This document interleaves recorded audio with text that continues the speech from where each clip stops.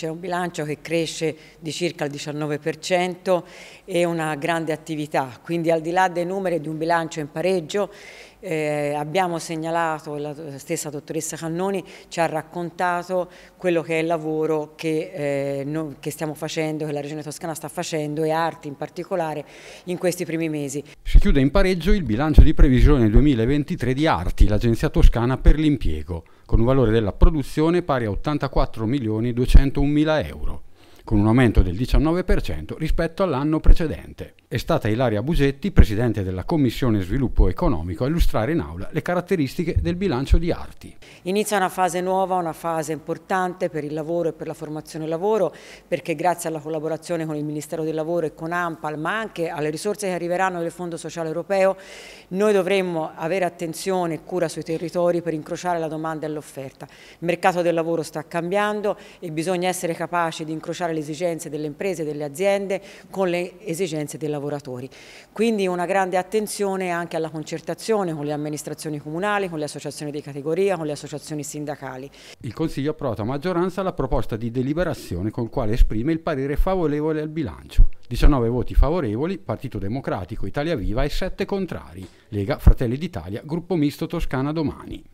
Voto positivo da parte di Italia Viva, un'agenzia che cerca ovviamente di lavorare rispetto all'impiego ovviamente del personale, cerca la ricerca dell'occupazione, della prima occupazione, il ricollocamento delle persone, il tentativo di, ovviamente di migliorare la qualità della vita della persona e trova da parte nostra massimo sostegno è la logica del lavoro che deve ovviamente nobilitare l'uomo e non quella dei sussidi, è il motivo per il quale noi abbiamo sempre e convintamente investito sulle politiche di arti che sono delle politiche di carattere regionale che però tengono conto anche delle impostazioni di carattere nazionale. Noi non possiamo pensare che eh, il lavoro lo trovi trova chi viene assunto in arti, perché poi questo diventa il paradosso. E questo ulteriore paradosso può essere anche quello per cui oggi, di fronte a una necessità di snellire soprattutto il rapporto tra domande e offerte, di trovare una, eh, diciamo un raccordo molto spesso tra ciò che chiedono le imprese e anche eh, un lavoro qualificato, quindi il nostro giudizio è un giudizio ad oggi negativo, soprattutto perché dovremo vedere da qui al prossimo futuro come le risorse verranno effettivamente spese attraverso un'attività intensa di monitoraggio.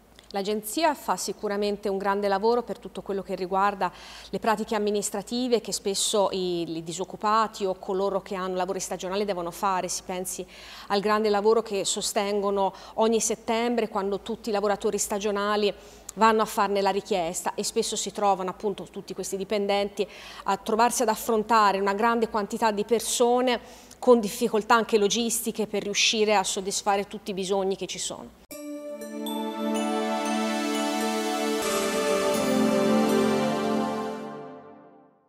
Proseguire nel percorso già avviato di revisione della legge regionale per garantire coerenza con i percorsi partecipativi già individuati, avviare una riflessione utile alla revisione della disciplina del dibattito pubblico regionale, incentivare l'individuazione di strumenti adeguati a consentire all'autorità di effettuare un monitoraggio sugli esiti dei processi partecipativi oggetti di finanziamento. Questi gli impegni contenuti nella risoluzione collegata all'attività 2002 dell'autorità per la partecipazione della Regione Toscana, che l'Assemblea legislativa ha approvato a maggioranza. L'occasione dell'illustrazione dell'attività dell'autorità per la partecipazione è stata opportuna anche per porre l'accento su alcuni aspetti. Da una parte l'adeguamento della legge regionale 46 del 2013 sulla partecipazione che anticipa una riforma normativa che eh, presto approderà nell'aula del Consiglio regionale. Dall'altra parte una riflessione sull'istituto del dibattito pubblico regionale e la necessità di garantire coerenza di questo istituto con l'omologo previsto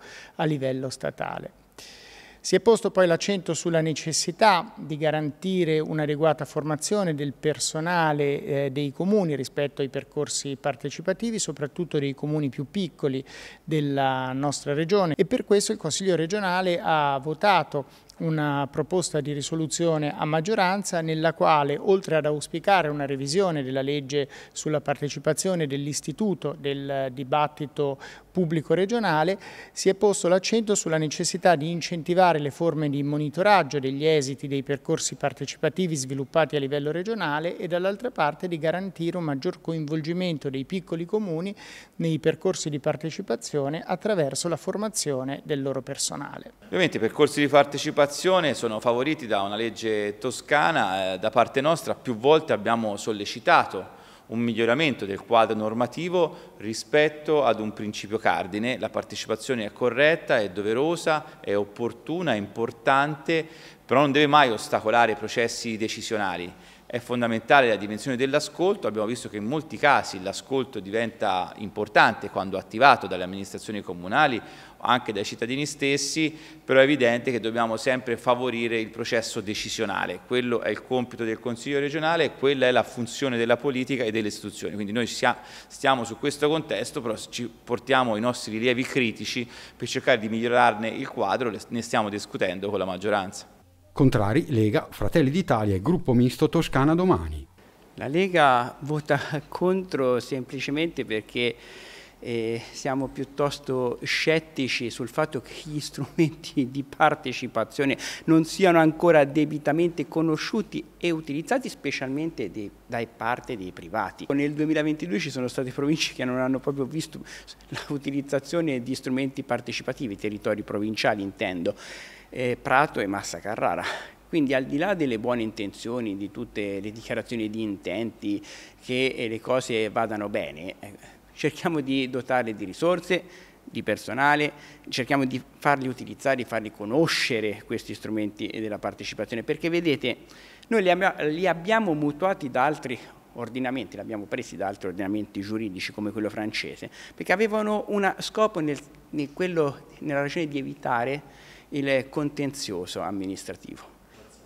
Diciamo che eh, premetto di essere eh, in generale a favore della partecipazione, inteso però come strumento efficace ed effettivo di eh, coinvolgimento di quella che è la pubblica opinione rispetto a temi centrali. In realtà, eh, per come è stata posta la questione, oggi rischia di essere eh, una mera dichiarazione di intenti, perché se noi pensiamo alle tante sfide, penso alle infrastrutture, mi viene in mente l'aeroporto, mi viene in mente la partita sui rifiuti, in realtà sulle sfide cruciali che riguardano la regione di partecipazione ne abbiamo vista molto poca, tra l'altro non attivata neppure neppure a livello regionale, anche laddove penso la questione aeroportuale si sarebbe potuta attivare. Quindi eh, la sfida è, si crede davvero nella partecipazione, allora dobbiamo iniziare a eh, calibrare e a basare le politiche pubbliche su un confronto, su quelli che sono dei temi cruciali che riguardano diciamo, il futuro della Toscana. Astenuto il Movimento 5 Stelle. La partecipazione è uno strumento che la Regione Toscana eh, ha e soprattutto possiede una legge tra le migliori che abbiamo in Italia, pur se risalente al 2013.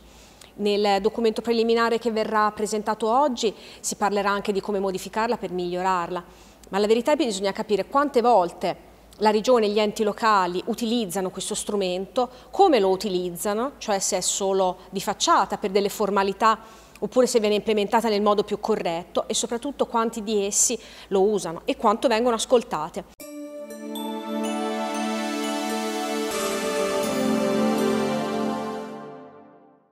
Sarà vietato ai minori l'uso delle ticket redemption, ovvero le macchine da gioco che alla fine della partita restituiscono al giocatore dei punti, che possono essere accumulati e utilizzati per l'acquisto di premi all'interno delle sale giochi e dei centri commerciali. Il nuovo testo normativo è d'iniziativa di un gruppo di consiglieri del PD, prima firmataria Anna Paris. È un divieto, è un divieto dall'utilizzo di questi dispositivi che rendono questi giochi ticket eh, tagliandi che troviamo nelle sale, sale, giochi per i minori. Per i minori perché ci troviamo di fronte a ragazzi eh, deboli e che più giocano eh, si crea un meccanismo gioco-gratificazione, un meccanismo subdolo, subdolo perché il ragazzo non ha le capacità per individuare questo rischio, eh, gioca, spende ticket per poi ottenere dei gadget di un rilievo minimo, mentre si crea un, un sistema che poi il ragazzo cresce e diventa un elemento strutturale nella, nel, nell'adulto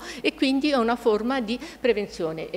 primaria. Permettetemi di, mia, di, dire due parole sulla mia grande soddisfazione perché mi sono avvicinata a questo testo con, alcuni, con grandi dubbi, non sapevo come sarebbe stato recepito, è stato invece recepito all'unanimità. Sono pochi articoli, se voi leggerete la legge sono pochi articoli, ma non vi nascondo che il processo è stato molto lungo perché è passato in Commissione eh, Sanità, prima nella Commissione Sviluppo Economico, però ha trovato il consenso di tutto il Consiglio regionale. Riteniamo di, eh, con questa normativa di fare un, eh, un, regalo a tante mamme e soprattutto ai nostri figlioli che sono questi ragazzi tanto deboli che purtroppo non abbiamo il tempo di controllare durante le 24 ore i loro pomeriggi, possono raggiungere queste, queste sale giochi e, e purtroppo eh, non essere controllati. Speriamo poi che ci siano i controlli. Noi eh, proponiamo questa legge, a questo punto ci sarà,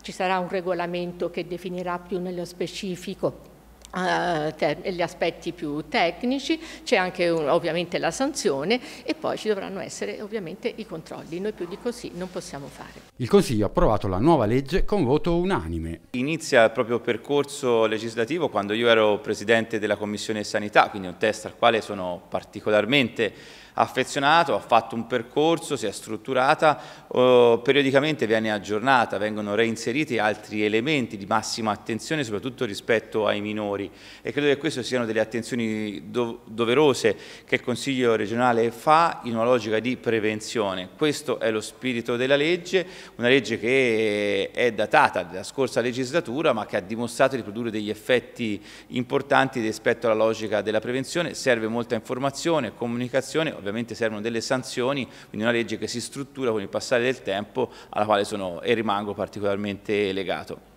È una legge che mette un altro tassello in quella che è la lotta alle ludopatie cioè i ticket redemption che sono una forma particolare con cui le vincite vengono trasformate in oggetti di piccolo valore ma che danno la gratificazione soprattutto ai giovani, ai ragazzi è diventata una legge e questo è un altro passaggio importante appunto. Quello che dobbiamo fare, ci abbiamo molto lavorato anche nella scorsa legislatura con Andrea Quartini, nostro esponente regionale, oggi deputato ed esperto in tutto quello che sono le dipendenze, è cercare di combattere tutte le fonti di questo che è una vera e propria piaga sociale. Un'altra cosa su cui dovrà essere fatto un grande lavoro e si sta facendo ad esempio sono i giochi online, quelli che invece danno semplicemente degli omaggi, dei regali, che sono delle gratificazioni che possono essere trasformate in qualcosa di economico. Siamo contenti che prenda corpo questa proposta di legge perché oggettivamente i giovani vanno tutelati e come ho detto in aula potrebbe essere una proposta di legge, quindi una legge di portata rivoluzionaria, perché si, se si fa una, un, uso, un buon uso di questa legge, si fa capire ai giovani l'importanza di non giocare e di non diventarne schiavi, perché i, i, gli schemi psicologici sono estremamente labili e, e fini da parte di chi inventa questi giochi, di modo che i ragazzi restano in qualche modo eh, invischiati. E eh, questi ragazzi poi crescono, quindi potrebbero essere i futuri eh, uomini che in qualche modo evitano di rimanere eh, con eh, lo stipendio lasciato nei vari giochetti, perché anche il gratta e vinci che il nostro Stato propone quando ti, ti, fa uscire un numeretto che è vicino a quello che te hai, pensi di essere stato solo sfortunato, in realtà sei rimasto invischiato nel, nelle loro trappole.